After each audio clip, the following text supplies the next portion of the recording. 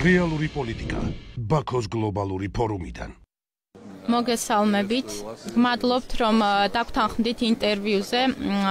სამი კითხვა გვექნება თქვენთან. პირველი, როგორ ფიქრობთ, უკრაინა რუსეთის ომი, რომელიც თითქმის წარმოუდგენელი იყო, მაშინ, როდესაც თქვენ იყავით პრეზიდენტი, როდის დასრულდება ან და როგორი და რა შედეგები ექნება? მეორე კითხვა მოდით პირველ პირველ კითხვას უპასუხებ ჯერ. აა მე ცოტა კორექცია შევიტან ეს არ არის რუსეთ-უკრაინის აა ეს არის რუსეთ ეს არ არის რუსეთ-უკრაინის, რუსეთ-საქართველოს ომი, არამედ ეს არის რუსეთ-დასავლეთის, რუსეთ-ნატოს ომი, რუსეთ-მსოფლიოს ომი.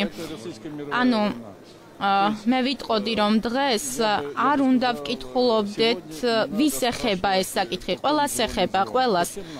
რუსეთი არის თავისთავად არის პრობლემა და საჭიროა ამ პრობლემის გაზრება. და აქ საქმე არ ეხება ორმხრივ ურთიერთობებს იგი ომობს ღირებულებების წინააღმდეგ, ჩვენი ღირებულებების წინააღმდეგ, ჩვენი სუვერენიტეტის წინააღმდეგ, ტერიტორიულ მთლიანობის წინააღმდეგ და აქ არ აქვს მნიშვნელობა საქმე ეხება უკრაინას, საქართველოს, მოლდოვას, აზერბაიჯანს ან ბალტიისპირეთ ქვეყნებს. ეს არის ბოროტება, ბოროტება, რომელთანაც მე ვიტყოდი, რომ სასირცხვილოა თანაცხოვრება 21 საუკუნეში. სირცხვილია ხვდებით თითქოს ხალხმა ისწავლა საუბარი კონფერენციების მოწყობა კომუნიკაციის დამყარება დიალოგების წარმართვა და რა მოხდა? რატომ ეს რუსეთი რუსები ანუ ლოთები ესენი რატომ შემოიჭრნენ უკრაინის მიწაზე? რატომ თელავენ ჩვენ მიწას? რატომ კლავენ ომობენ ანადგურებენ იმას რაც ასობით წელი ვაშენებდით ამის ახსნა შეუძლებელია. მით უმეტეს რომ უკრაინის მხრიდან არც ერთ პროვოკაციას არ ქონია ადგილი ამ ლოთების ასეთი ქცევისთვის. ამიტომ შეიძლება არაეთიკურად ვსაუბრო პოლიტიკური თვალსაზრისით მაგრამ ვიტყვი რომ ეს ყოველასთვის არის პრობლემა და ის ომი რომელიც მათ დაიწყეს საქართველოსში 15 წლის წინ და ის ომი რომელიც დაიწყეს უკრაინაში 9 წლის წინ ეს ყველა ყველაფერი იმ შეცდომების გამოხმაურება, რომელიც დაუშვა როგორც ევროპულმა, ისე მსოფლიო პოლიტიკამ, რომელიც ყალიბდებოდა ბოლო 15 თუ 17 წლის განმავლობაში. როდესაც ფორმირება მოხდა, ну, პუტინთან და რუსეთთან მიმართებაში, პუტინ ფერშტეინის პოლიტიკაზე, როდესაც დამოკიდებულნი გახდნენ რუსეთის იაპ გაზზე, არ აქვს მნიშვნელობა რეალ პოლიტიკა და ან მაქსიმალური სარგებელი ვნახოთ ამ ურთიერთობებიდან და საბოლოოდ ევროპამ მიიღო ის პროდუქტი, რომელსაც პუტინიზმი ეწოდება და პუტინიზმი არის 21 საუკუნის ფაშიზმი. თქვენი აზრით, როდის დასრულდება ეს კონფლიქტი? და როგორი შედეგით? მე ვფიქრობ, რომ ყველაფერი მიდის იმისკენ, რომ ის მოსალოდნელი, ანუ კონტრშეტევა იქნება და ეს კონტრშეტევა იქნება გამარჯვების მომტანი ჩვენ ამაში ეჭვი არ გვეპარება. იცით დღეს უკრაინელი ერი კონსოლიდირებულია როგორც არასდროს. ჩვენ როგორც ერთი მებრძოლნი ვართ და ჩვენ ყველაფერს ვაკეთებთ რომ ფრონტმა იმუშაოს რათა მოხდეს ჯარისკაცების ასევე შეიარაღების საუკეთესო უზრუნველყოფა.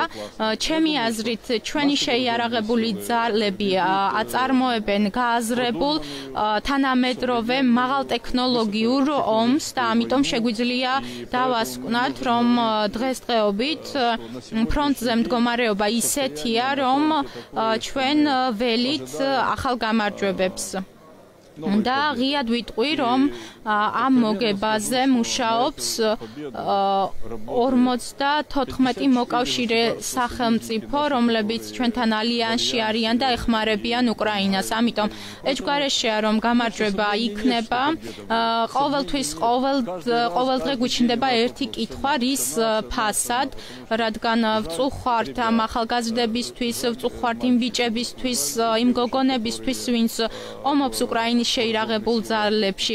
აი ეს არის მტკივნეული და ის რომ იმის გარდა რომ 97% იმისა რაც ნადგურდება არის სამოქალაქო სტრუქტურები და აი ეს დევნილები რომლებიც წავიდნენ უკრაინიდან როგორ არის შესაძლებელი მათი დაბრუნება ან რამდენი ხნის შემდეგ? გულწრფელად რომ თქვა, ჩემი აზრით ეს არის პრობლემა, რომელიც მოგვარებადია თუ გამარჯვებასთან ერთად ვიფიქრებთ უსაფრთხოების პოლიტიკაზე თუ გამარჯვების პოლიტიკასთან ერთად ვიფიქრებთ საერთაშორისო ტრიბუნალის პოლიტიკაზე და სასამართლოზე, რათა პუტინი იჯდეს პირველ რიგში მის შოიგუსთან ერთად და არანაკლებ მნიშვნელოვანია, რომ 150 მილიონი ეს პატარა პუტინებმაც მიიღონ დაგმობა, რადგან ისინი არიან პუტინიზმის მატარებლები და ისინი აძლევენ პუტინს ლეგიტიმაციას.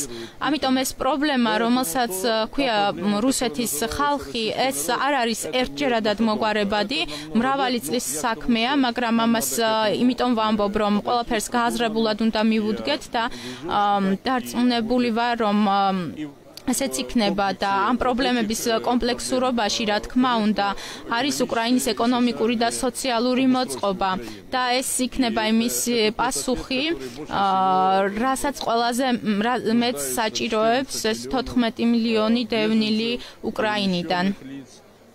14 მილიონი ეს კოლოსალური პრობლემა ევროპისთვისაც, ქვეყნისთვისაც, მაგრამ ჩვენ თუ მაგრამ თუ ჩვენ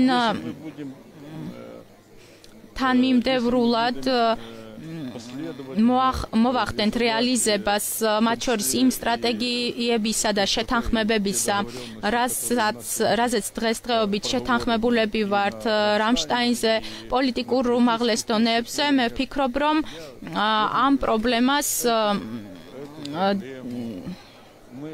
დიდი სირთულით, მაგრამ მაინც გადავჭრით. კიდევ ძალიან საინტერესოა ის თუ როგორ მოახერხეთ რომ თქვენ რუსეთთან ომი არ დაიწყეთ თქვენი მართლობის დროს თქვენი პრეზიდენტობის დროს რუსეთი თავს არ დაგესხათ. როგორ მოახერხეთ? როგორ პოლიტიკას ატარებდით რომ რეალურად დიპლომატიური ხერხებით რაღაცნაირად წარმართავდით რუსეთთან ურთიერთობას? მოგეხსენებათ რუსეთთან ურთიერთობა ყოველთვის რთულია მე მოვახერხე რუსეთთან ისეთი ურთიერთობების ჩამოყალიბება, სადაც დემონსტრირებული იყო ურთიერთპატივისცემა, რაც კარგად მახსოვს და ტაქტი, რომელსაც არ აბიჯებდა რუსეთის მხარე. ჩვენ გვქონდა კონსტრუქციული ურთიერთობა, ვიტყოდი საქართველოს მოვლენებამდე. აქამდე გქონდა საკმაოდ გლუვი ურთიერთობა უსაფრთხოების კუთხით საკმაოდ მისაღები. მაგრამ რა თქმა უნდა ჩვენი და საქართველოს მისწრაფება რათა შევერთდეთ ნატოსა და ევროპას თვით ევროპამ დაბლოკა. დაბლოკეს მერკელის სარკოზის ბერლუსკონის თაოსნობით ეს არის სასირცხვილო ეპიზოდი ევროპულ პოლიტიკაში აბსოლუტურად ჩემი აზრით მაშინ რომ უფრო კატეგორიელები ყოფილიყვნენ არ იქნებოდა უკრაინის დღევანდელი მოვლენები. მაშინ 2008 წლის გაზაფხულში ბუხარესტის სამიტზე რომ მიგვეღო პერსპექტივა საქართველოს და უკრაინას არ იქნებოდა. 2008 წლის საქართველოს ომი არ იქნებოდა 2014 წლის უკრაინის ომი. მაგრამ მაშინ ევროპა სუსტი იყო სამხედრო თვალსაზრისით ან პოლიტიკური თვალსაზრისით კი არა, უფრო ვიტყოდი, რომ ის მორალი, რომელიც გამოხატეს ბუქარესტში, ეს ლაქიური მორალი პუტინისადმი, პუტინი ფერშტაინი და პუტინს საშუალება მიეცა ჩამოიყალიბებინა ევროპაში დასავლეთ ევროპაში კორუფციული ინტერნაციონალი, სადაც ეროვნული პარლამენტები და არა მხოლოდ ისინი მუშაობდნენ რუსეთზე. ამიტომ მე ვიტყოდი რომ ეს რთული პოლიტიკაა, მაგრამ 2008 წლამდე ჩვენ ვახერხებდით იმ დისტანციის შენარჩუნებას, რომლის დროსაც ანუ არ ჩნდებოდა ომი. ხოლო ბოლო 10 წლის განმავლობაში მოგეხსენებათ ევროპამ როდესაც ევროპამ სრულად წარმოაჩინა პუტინისადმი ხარდაჭერა, როდესაც პუტინი ყოველდღე იღებს 1 მილიარდ დოლარ მოგებას დასავლეთ ევროპიდან, დიახ, და თვეში თავში აუარდა, მანამდე თუ თავში რამე ჰქონდა დარჩენილი, აღარაფერი დარჩა.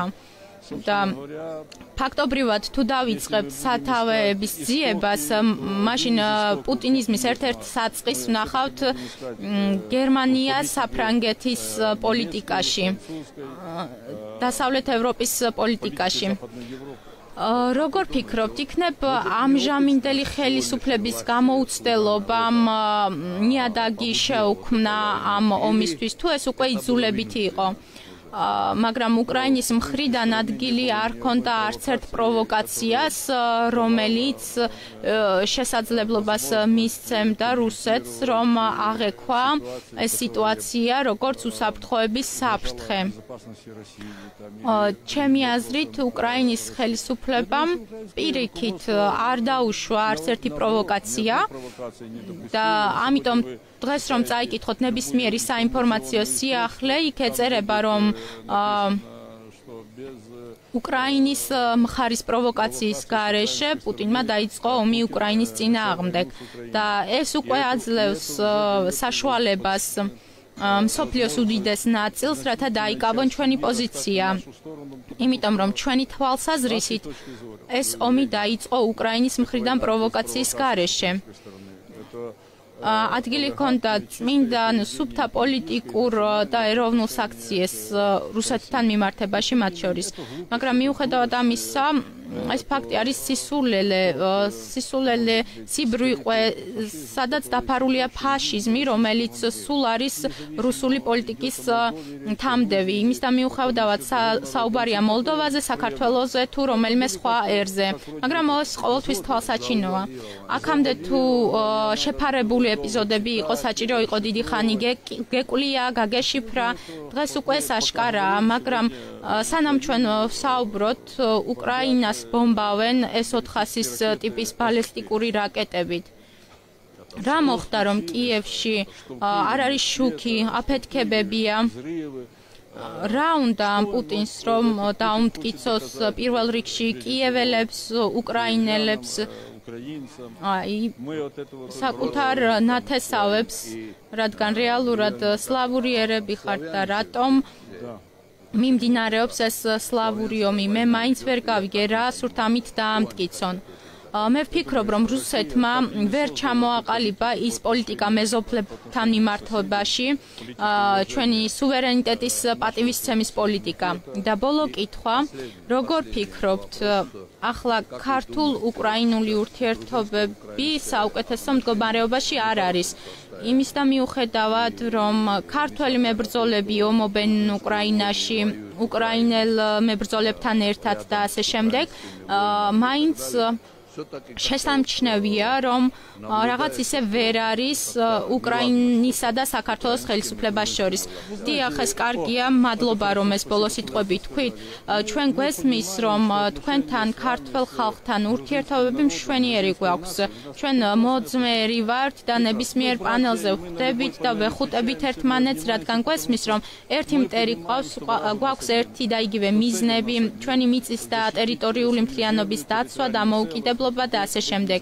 მაგრამ სამწუხაროდ ის პოლიტიკური კურსი, რომელიც საქართველოს ხელისუფლებამ აირჩია, მე მე მრცხვენია, იმიტომ რომ ეს ამცირებს არა მხოლოდ საქართველოს ხელისუფლებას, არამედ ქართულ ერსაც, იმიტომ რომ ჩვენ გვაქვს ისეთი ეროვნული ურთიერთობები, რომ მე მე მათ მხოლოდ და მხოლოდ ნუ განვავითარებდი, გავაუმჯობესებდი და არანაირ ცვლებას არ დავქვემდებარებდი. მე ვფიქრობ, რომ ეს გაევლის, იმედი მაქვს.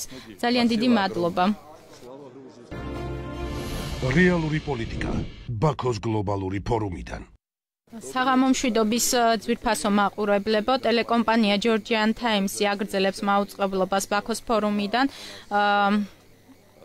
ჩვენი რესპონდენტი ბატონი ბულატ ნურგალიევი პირველ რიგში რა მინდა გკითხოთ როგორია ყაზახეთის ხედვა რუსეთ უკრაინის ომთან დაკავშირებით.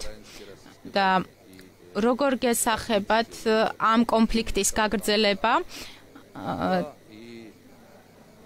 როდის და როგორ დასრულდება იგი? რა თქმა უნდა ყაზახეთი აღიქვავს იმას რაც ხდება უკრაინის ტერიტორიაზე როგორც დიდ ტრაგედიას.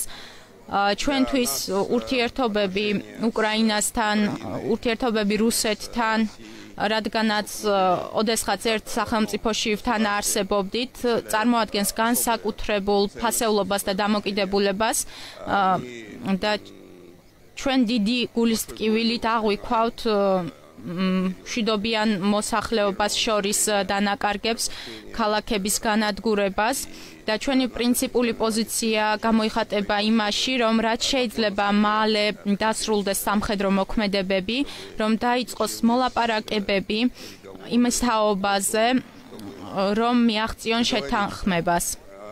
შეუძლებელია ახლა იმის თქმა, და პროგნოზირება თუ როდის დასრულდება ეს, მაგრამ ერთი რამ არის ცხადი, რომ ადრე თუ გვიან ეს დასრულდება. ფორუმის ფარგლებშიც განიხილებოდა ეს საკითხი და ითქვა, რომ სამხედრო კონფლიქტების ომების გამოცდილებიდან, მათ შორის ბოლოდროინდელი 90-იანი წლების შუა რიცხვებში, გასაგებია, რომ როგორიც არ უნდა იყოს ურთიერთწყენა მიყენებული ზარალის გამო მოსახლეობისთვის, ასევე ინფრასტრუქტურისთვის მაინც იძულებულნი ხდებიან მოილაპარაკონ. ამ შემთხვევაში კონკრეტულად სამხედრო კონფლიქტის გარშემო ჩვენ გვესახება ეს ჩემი პირადი მოსაზრება რომ შეუძლებელია რომ გამოიმარჯვოს ერთმა ან მეორე მხარემ. არ არც ერთი მხარის ტოტალური გამარჯვება შესაძლებელი არ არის. აქედან გამომდინარე, საჭირო იქნება მოლაპარაკება. ამბობენ ეს არარეალურია, მაგრამ პოლიტიკოსებმა უნდა აიღონ პასუხისმგებლობა საკუთარ თავზე. სხვაგვარად არ გამოდის. მე 2010 წელს, როდესაც ყაზახეთი თავმჯდომარეობდა ეუთოს, მე დაკავებული ვიყავი მაგალითად საქართველოში არსებული კონფლიქტებით ხშირად ჩამოვდიოდი თბილისში, ვიყავი ცხინვალში, ვიმყოფებოდი სოხუმში და სამხრეთ ოსეთის და აფხაზეთის ურთიერთობები საქართველოს დანარჩენ ნაწილთან და მაშინაც ჩემი გულწრფელი სურვილი იყო დავხმარებოდი პოზიციების დაახლოებაში. პატარა ნაბიჯებით ერთმანეთისკენ მოძრაობის დაწყება, ნდობის აღდგენა, მიუხედავად ყველაფრისა, რაც მოხდა, რამდენი დრო გავიდა ხომ ხედავთ და სად ვართ ახლა ქართულ სამხრეთოსურ და ქართულ აფხაზურ კონფლიქტებში. იმ დროინდელი ჩემი მოლოდინები დიდწილად არ გამართლდა, მაგრამ კარგია რომ არისვრიან კარგია რომ არ არის შეიარაღებული დაპირისპირება დიახამ ეტაპზე მაგრამ მე ასე ვამბობდი ეს დამოკიდებულია დამოკიდებულია ხელმძღვანელებზე. ხელმძღვანელებმა უნდა ჩამოაყალიბონ საზოგადოებრივი აზრი და ეცადონ მოიძიონ ის გზა რომელიც გამომდინარეობს ყველაზე მთავარი საკითხიდან. მოსახლეობის უსაფრთხოება და კეთილდღეობა და ეს არის ამ სამუშაოს რეცეპტი. შემდეგი კითხვა ეხება შუაზიის კორიდორს. მოგვეხსენება, რომ რუსული გზა ჩინეთისთვის დაიხურა. ყაზახეთი არის ძირითადი ჰაბი ჩინეთისთვის. როგორ ფიქრობთ, რა უნდა გააკეთდეს ამ გზაზე აზერბაიჯანისა და საქართველოს რომელიც გადის, რათა უფრო ინტენსიურად მოხდეს მიწოდებები ევროპაში, სატვირთო ენერგეტიკული და ასე შემდეგ. ისე გამოვიდა, რომ აი როდესაც იწყებოდა პლენარული სხდომა, მოვიდა შეტყობინება იმის თაობაზე, რომ მაისში ასტანაში მოხდება ევროპის რეკონსტრუქციის და განვითარების ბანკის ანგარიშის პრეზენტაცია ტრანსკასპიული საერთაშორისო მრავალმოდელური კორიდორის მშენებლობასთან დაკავშირებით და სწორედ იქ იმასთან დაკავშირებით თუ როგორ გავხდეთ გავხადოთ იგი უფრო ეფექტიანი, როგორ ვუზრუნველყოთ მისი რენტაბელურობა, რა უნდა გაკეთდეს დამატებით ინფრასტრუქტურის მშენებლობის კუთხით, განხილული იქნება. ამიტომ ამ საკითხზე მუშაობენ, აი მე საუბრობდი გამოსვლისას ჩვენ ვგეგმავთ ატაუს პორტის, გურიკის პორტის გამტარუნანრიანობის გაზრდას, ავაშენოთ დამატებითი რკინიგზები ავაშენოთ შემკეთებელი და გემთმშენებელი ქარხნები კასპიის ფერეთში. ეს ყველაფერი გათვლილია იმისკენ რომ დიახ ჩვენ გვაქვს ასევე ვაგონმშენებელი ქარხანა ყაზახეთში. ყველაფერი იმისათვის რომ ინფრასტრუქტურამ გახადოს ეს მარშრუტი რაც შეიძლება უფრო მიმზიდველი ფასის თვალსაზრისით. ხოლო ფასი განისაზღვრება იმით რომ თუ განვითარებულია ინფრასტრუქტურა ყველა დანარჩენი მომენტი მოგვარებადია. ადრე იყო ასეთი მომენტი იყო სარაქის ხელშეკრულება, სადაც 50%-იანი ფასდაკლება იყო. შესაძლებელია თუ არა ასეთი შემთხვევა. მე ფიქრობ, რომ ეს შესაძლებელია, რაც შეეხება ყაზახეთს, ჩვენ ღია ვართ ნებისმიერი ვარიანტების განხილვისათვის, რომელიც ხელშეუწყობს ამ ამოცანების შესრულებას. მე გამოსვლისასაც ვთქვი, რომ არა არა საჭირო წინააღმდეგობების ძიება ამა თუ იმ პროექტებში მონაწილეობასთან დაკავშირებით, რომ თუ ერთ პროექტში ხარ მეორეში ვერ მიიღებ მონაწილეობას. დიახ, აი ჩვენთან ყაზახეთში ზოგჯერ ამბობენ, რომ როგორ შეიძლება მრავალვექტორული პოლიტიკის გატარება. მე მინდა ვთქვა, რომ ჩვენ სხვა გზა არ გვაქვს. ყაზახეთისთვის სხვა გზა არ არსებობს. ნუ ეს არ არის ის დრო, როდესაც რუსეთმა დაგიბლოკათ ენერგეტიკული კორიდორები. დიახ, ასეთი მომენტები ჩნდებოდა, ხსნიდნენ, რომ ეს დაკავშირებული იყო ტექნიკურ მიზეზებთან. ჩვენი ნავთობის 80% ექსპორტირდება შავი ზღვის პორტის ნოვოროსიისკის გავლით და იქ იყო შემთხვევები, რომ წყობრიდან გამოდიოდა გამტარი ნავსა სადგომები, რასაც და რაღაც სხვა მომენტებიც იყო, შეიძლება სხვა რა მიფიქრო, თქვა რომ რაღაც პოლიტიკური მომენტებს უკავშირდება, ასეთი მტკიცებულებები არ არის და ჩვენ გამომდინარეობთ იქიდან, რაც არის, ამიტომ ამიტომ რომ პირველ რიგში ყაზახეთის ნავთობ პროექტების რეალიზებას ახორციელებენ რუსული კომპანიები და ისინი თავის თავს ხომ არ დაჭრიდნენ. თუმცა ყველაფერი არის შესაძლებელი, შესაძლებელი, მაგრამ მე არ მაქვს იმის საფუძველი რომ ვივარაუდო რომ ეს ამას უკავშირდება. მაგრამ დივერსიფიცირება აუცილებელია, იმიტომ რომ საჭიროა ახალ რეალიებთან მორგება, რომელიც ჩნდება. ჩივილი იმის თქმა, რომ ცხოვრება გაძნელდა და ასე შემდეგ, რა თქმა უნდა, შეიძლება, მაგრამ ცხოვრება გრძელდება. ამ გზაზე ვეძიებით გზებს, რომელიც ჩართავენ ყოველას რეგიონულ თანამშრომლობაში და მათ შორის მოძმე საქართველოს ჩართვისთვის ყაზახეთი ყველაფერს გააკეთებს. ჩვენ კარგი ურთიერთობები გვაქვს, პოზიტიური ეკონომიკური ურთიერთობებიც გვაქვს. აქვს, ამიტომ მე პირადად სხვა ალტერნატივას ვერ ვხედავ. მხოლოდ ერთობლივი ძალებით გამოსვლა ძალიან ბევრი საერთო გვაქვს ისტორიულად და რაც არ უნდა იყოს, ვფიქრობ, რომ ჩვენი მომავალიც საერთო იქნება. ძალიან დიდი მადლობა დალგატალიევს ჩემი მოკითხები.